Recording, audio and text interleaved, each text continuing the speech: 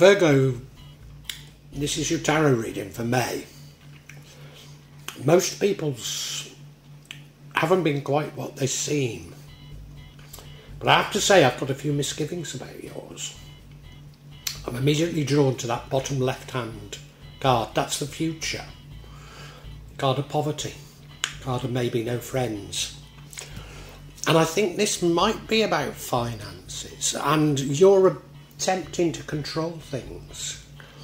Um, central card there, King of Pentacles. Somebody who thinks at least they're astute with money. Now, you know, I've used the word money there, and do we know we'll even have money by the end of this year with CBDCs, etc.? You know, so maybe I should use the word wealth. And I think this is about wealth and your attempt to control it, maybe even manifest it. Because you know, um, both the middle cards, top and bottom, are High Priestess and Magician, suggesting you're manifesting. Are you manifesting money? I think so, I think so. And I think perhaps it's not going right for you. In the past, bottom right. Um, an important decision to make you can't see which is the best one to take. Something quite radical, I think. Could this be also related money? I honestly don't know. Um, the energy that leads to the outcome is the Knight of Wands. He's bold, he's fearless, but he rushes into things. Is that about investments? Is that rushing into conclusions? I don't know. I don't know. The outcome is you are looking to authority, probably in terms of religion or spirituality, but it could be other things.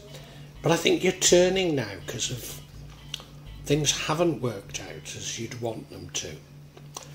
Not sure I've got this right, so stick with me to see what I make of it.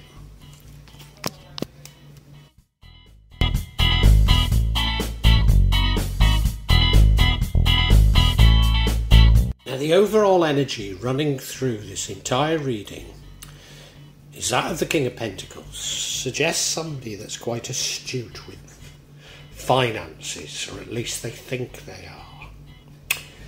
And, you know, I think the games are all changing at the moment.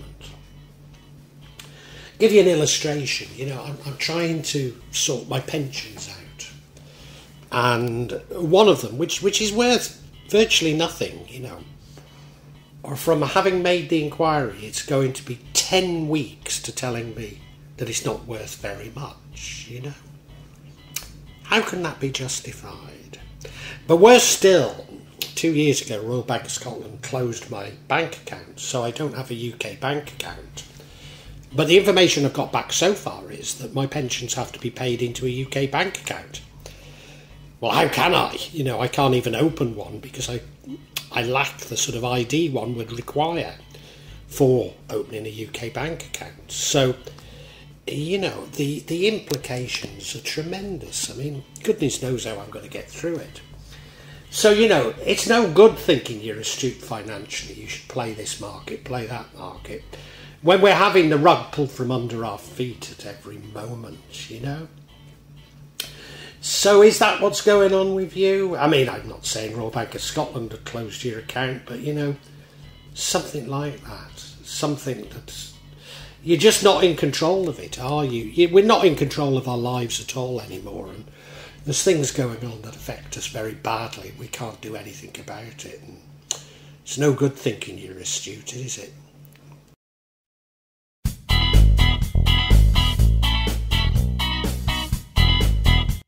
In the past, you certainly had a decision to make. I think quite radical decisions, but you couldn't decide which was the best. Did this involve finance? I've no idea. It's clearly important, and you'll understand the significance of it better than me. As I say, it was in the recent past. But you took a decision on something, or, or you, you were faced with a decision on something, and it was clearly important. Is this coming back to bite you? I don't know.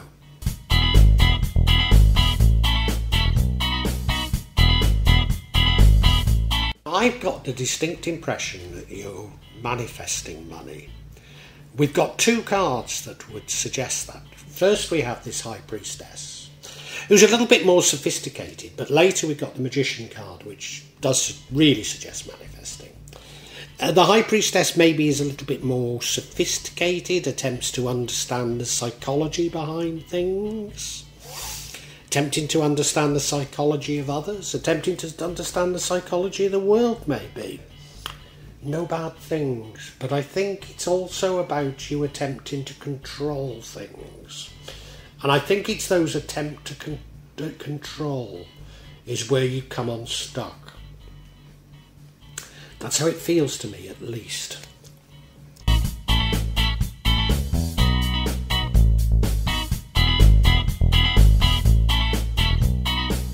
Say, why am I being so pessimistic? Well, it's it's this energy here.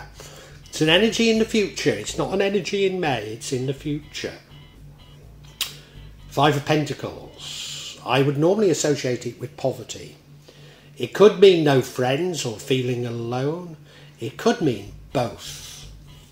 It's normally an attitude of mind. So poverty is often a feeling of poverty as much as an objective situation. But I think it, it indicates to me that you've been trying to control things and it's gone wrong. Maybe you've rushed into things a little. If you'd relaxed and submitted to the universe, I've got a distinct feeling things would have gone better. Maybe I'm getting it wrong, but I don't think so. Often, this isn't an energy to worry about, it's not long term. Uh, but I do think that you've taken the wrong course of action somehow.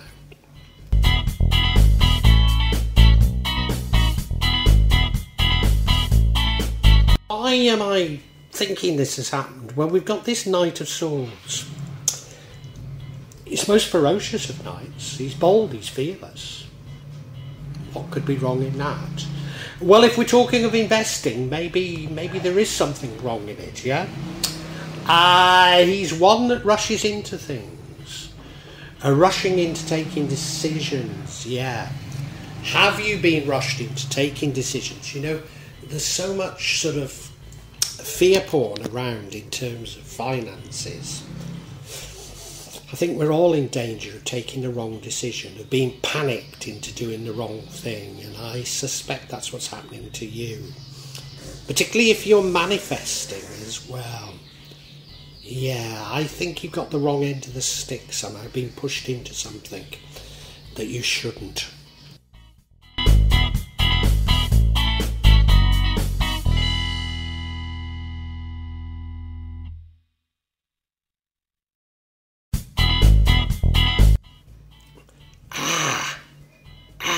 I didn't spot was this magician card changes the outcome. Ah, so it's very different. So rushing into things creates the outcome. And remember, long term, it is it's not looking so good. Whereas if you were to use the magician, if you were to manifest, then things could be better for you. So have I got this wrong? You know, I think I might have. I think I might have. And probably the high priestess was the right thing to be doing when I thought it was the wrong thing to be doing. Yeah, very different indeed. It's you rushing into things that creates what I see as a potential problem for you, not you manifesting. So, manifesting wealth or manifesting harmony is the right thing to be doing. How interesting.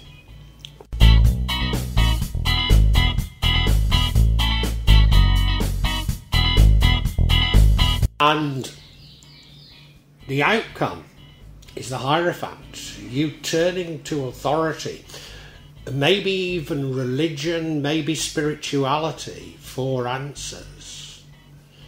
How interesting, because you know, I've been getting messages uh, that religion is not as important for finding answers of what's going on in the world right now as what is inside your own mind. which the high priestess and the magician would be much more about.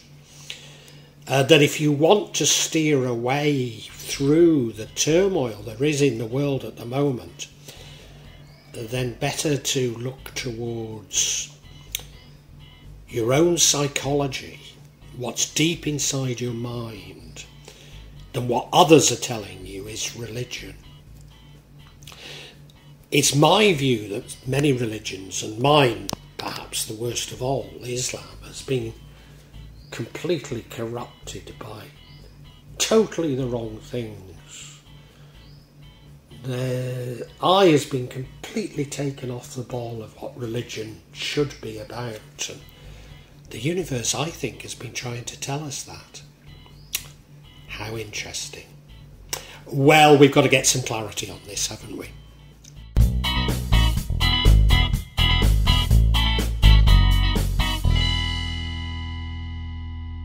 What has got you into feeling like you're in poverty in the future? First card suggests it's a divine blissful relationship. Oh dear. Second card suggests new information comes to you. Is it about this relationship?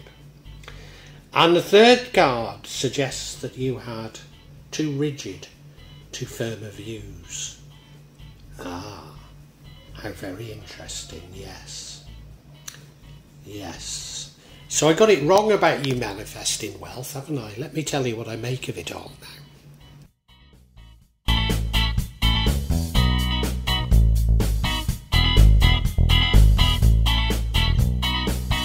Remember, we're clarifying why you feel that you're in poverty in the future, maybe even with no friends. And the first card of clarification we get is a card of divine relationships. Now, does it tell us about falling in love in the past? Ah, of course, there was that decision to make. Was that between two people and you chose the wrong one? It could be, couldn't it? It certainly seems that it's this relationship which has caused you to lose your money. Did you pick a, pick a bad one here? It certainly feels like it. Or did you just get caught up with each other and talk each other into the financial equivalent and jumping off a cliff? Maybe.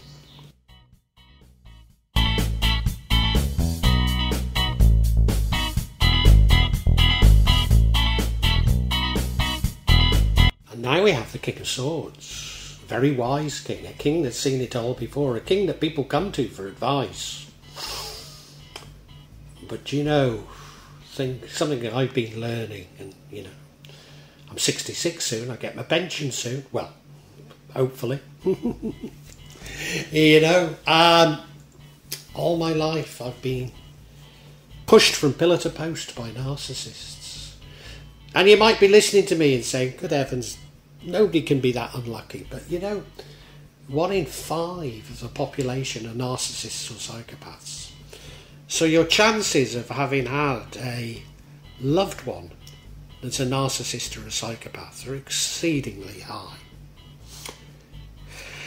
And recently, you know, I've been spotting them a mile off, and, but they keep coming because, of course, they're one in five of the population.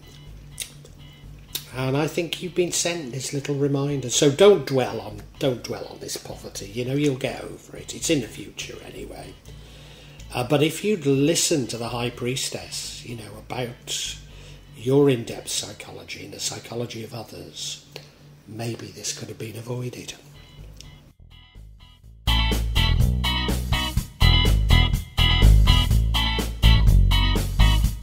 Certainly, one thing the universe seems to be shouting out to us all at this moment is, for goodness sake, don't have too rigid a plans. And you remember before you had a choice to make? And maybe it was just too rigid.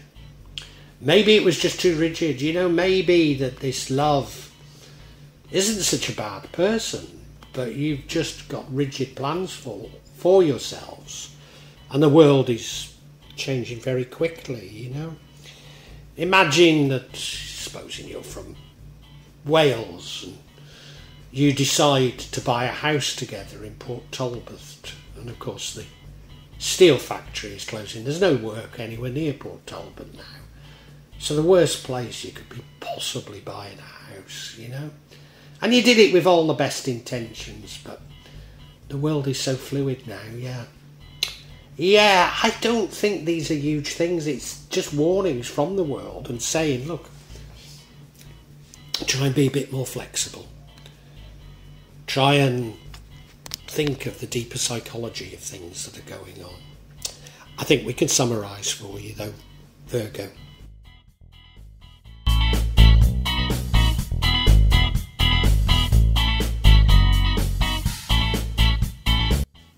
Virgo, I thought this reading was all about money, and to a certain degree it is, but it's about life, it's about money, it's about love, it's about everything. You had an important decision to make in the past, and I'm not certain you took the wrong decision as much as you took a decision and pinned so much on it, and things are going to go wrong for you. You've rushed into things a little bit too much. I think you have been thinking, but you've been planning, and the world is a very uncertain place, and it's no good having such firm plans. You certainly met somebody and they felt wonderful. Were they the right person? I don't know, I don't know, but you were making plans with them, and the plans are going to lead you in the future to poverty, maybe even losing that person, I'm not sure. Uh, but it is that the universe is saying you are just too rigid. And as a result of things not going quite right, you're probably going to turn to form formal religion. And again, the universe has been shouting out to me that formal religion has become so corrupted, it doesn't contain the answers for what you want right now. And you'd be better looking inside your own psychology you'd be better actually manifesting change for yourself than looking towards religion. I don't think that the outcome is terrible. I don't think things. I think it's more a mindset. You know, I think you're heading for a knockdown, and you'll learn from it. You know, and you'll move on. But it won't be pleasant when it happens. Let's put it that way, Virgo. But I do think you're able to pick yourself up. I, I do think you are. This has just been a little lesson, that's all.